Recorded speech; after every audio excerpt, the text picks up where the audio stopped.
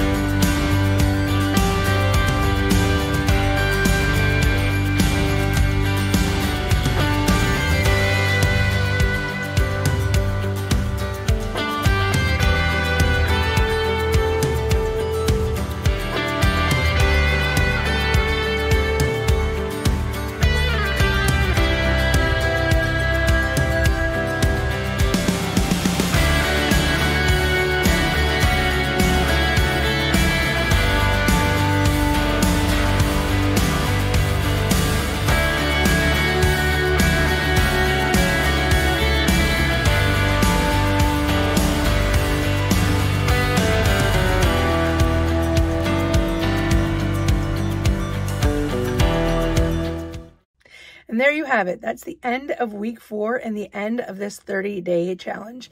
If you have been watching the last four weeks, thank you. You know that this has just been an intermediate challenge before the real challenge is about to begin. If you haven't, I've got a treat for you. This last four weeks of challenges for this 30 day challenge has just been to tide me over and make sure that I haven't gotten into any bad habits or slid back into old habits while I waited for Hell Week to finish, and then I was going to start 75 soft. So the 75 soft challenge is going to start at the end of next week. So stick around for those videos to be dropping soon. And until next time, stay amazing.